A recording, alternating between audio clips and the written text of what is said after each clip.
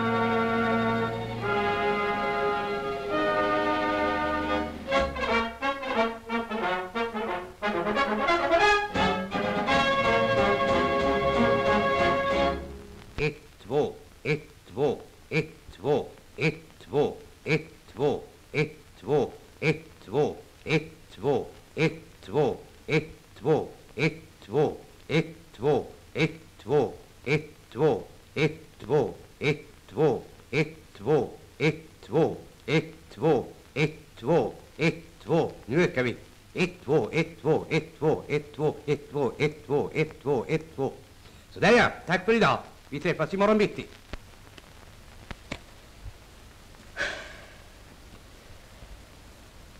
Vad jobbigt.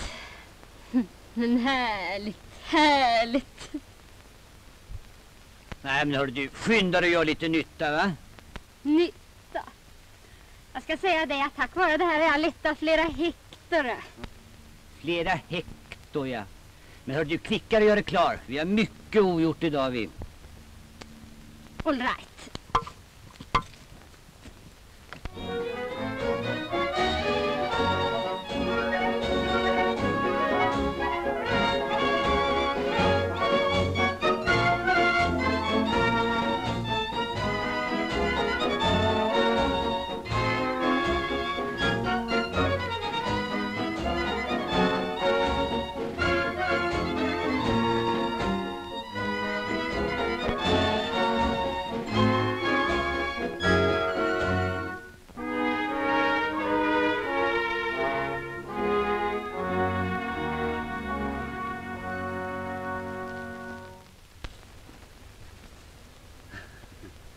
Ska vi ta vägen idag?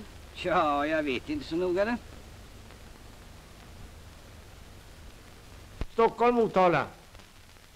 Du, Magnus, varför mm. säger de alltid Stockholm, Motala? Vet du inte det? Nej. Där ligger Sveriges största sändarstation. Det är därifrån de sänder riksradioprogrammet. Mm. Våran radio är förresten byggd i den stan. Är den? Mm. Tänk om vi kunde fara dit. Du, det var ingen dum idé min flicka lilla, men då får vi ta raska på det. Ja.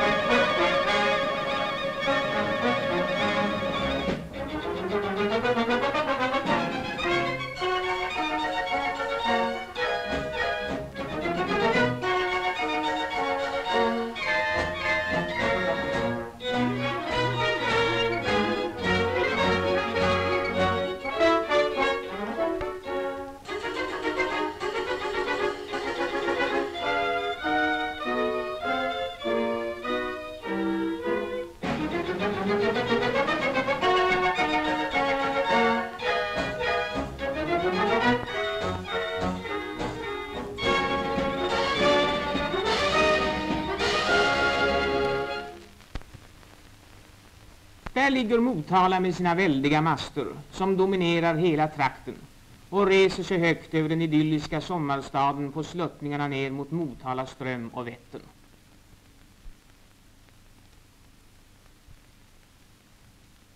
De höga popplarnas stad, som Motala inte utan skäl har kallats, ligger mitt i en gammal bördig kulturbygd, på det ställe där i gammal tid en av Östergötlands viktigaste landsvägar korsade Motala ström och en naturlig handelsplats för hela Östergötland och stränderna kring Vättern uppstod.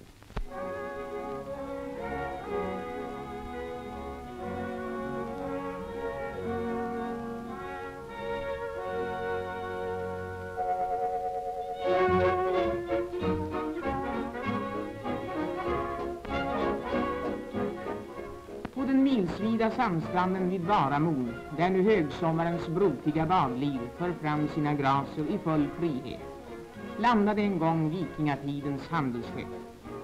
Och armstarka kämpar har säkert många gånger tidigare demonstrerat sina krafter på denna historiska mark.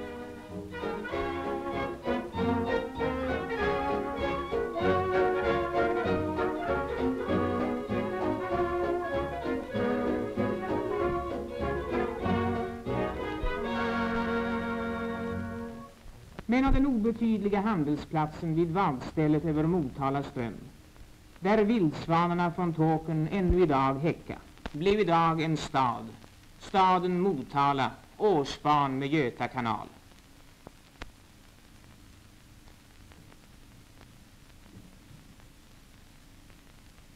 Och stadens historia är kanalens, radions och den moderna teknikens. En gång representerade dessa makligt framglidande kanalbåtar höjden av teknik och effektivitet i modern samfärdsel. Nu är det föga mer än vackra turistskepp som gör sin skyldiga reverans för kanalbyggaren Baltzar von Platens grav, där han ligger, vid de vågor själv han diktat, på den strand han själv har byggt.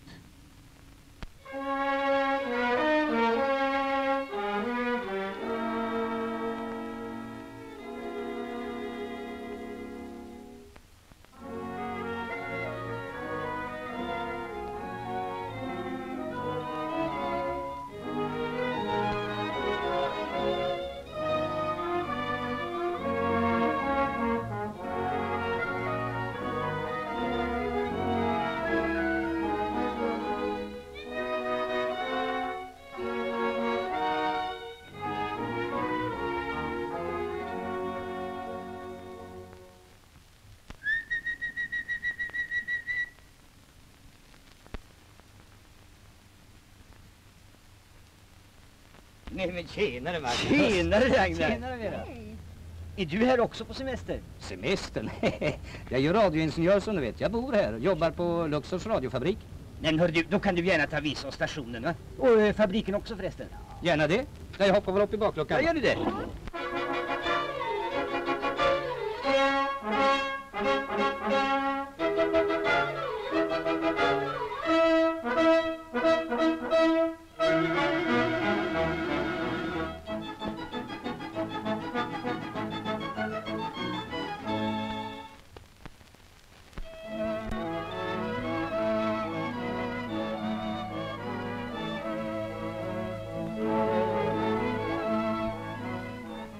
Den moderna radiotekniken är så högt utvecklad och så specialiserad att den är en hel vetenskap. Närmast under oss har vi den gamla sändaren som numera står i reserv. Den är betydligt mer omfångsrik än den nya som skymtar bakom pelarna i bakgrunden. Denna tar bara hälften så stort utrymme fast effekten är tre gånger så stor. Programmen kommer in per tråd, förstärkas och vidarebefordras så per etervåg till mottagarna. Bakom de blanka kontrollborden med sina pendlande visare ligger en fulländad och ytterst dyrbar teknisk utrustning. Och att kontrollera utsändningens normala fortlöpande medför ett stort ansvar.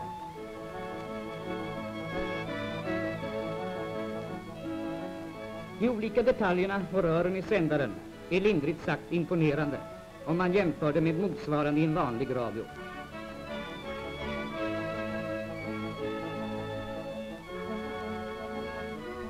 Motalastationens nya kortvågssändare intar trots sin relativt lilla volym en mycket stor plats inom den nutida långdistanssändningen.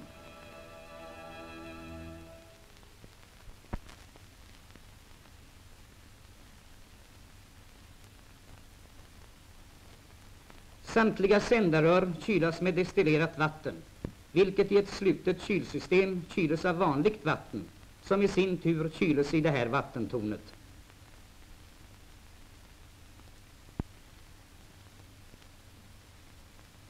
Antennmasterna är ej mindre än 120 meter höga.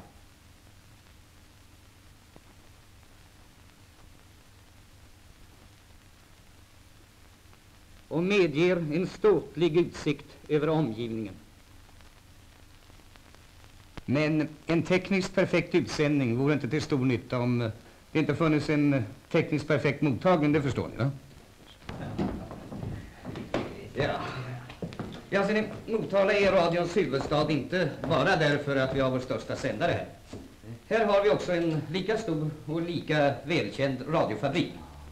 Och alltsedan fabrikens start har vi målmedvetet arbetat på att få fram en god svensk radio. Och jag kan försäkra er att vi inte lämnat någon möda ospar för att verkligen lyckas uppnå det också.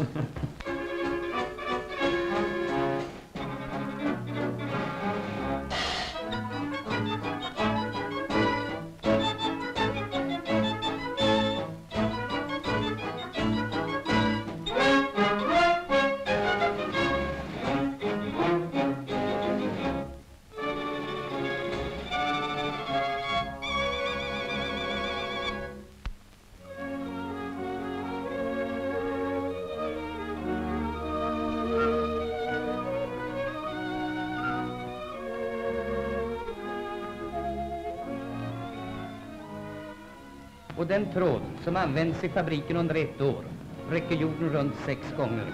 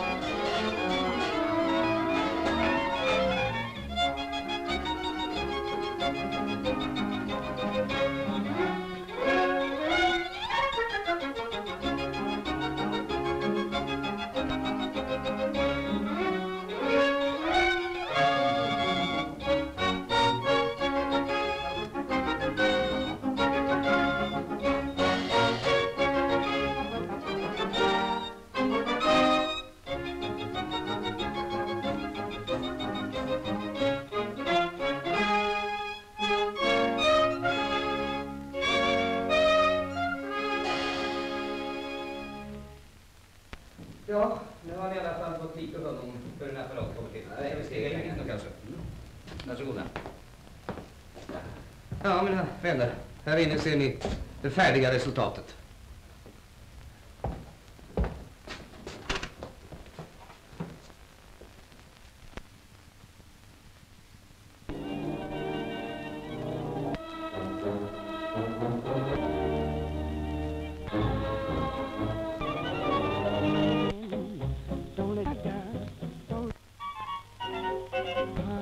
Men så här nära en stor sändarstation behövs väl ingen antenn? Givetvis inte då det gäller Motalastationen. Men en förstklassig antenn är ju alltid värdefull då det gäller distansmottagning. Oberoende av hur god apparat man har.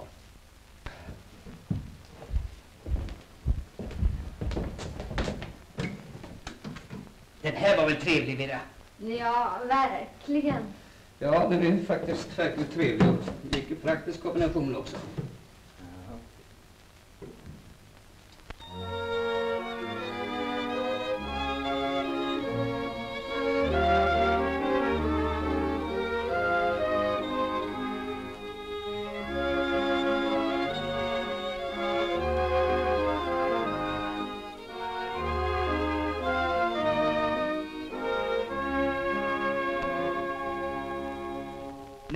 Ragnar, hur kan det komma sig att eh, ni kan ta in någonting annat än Motala?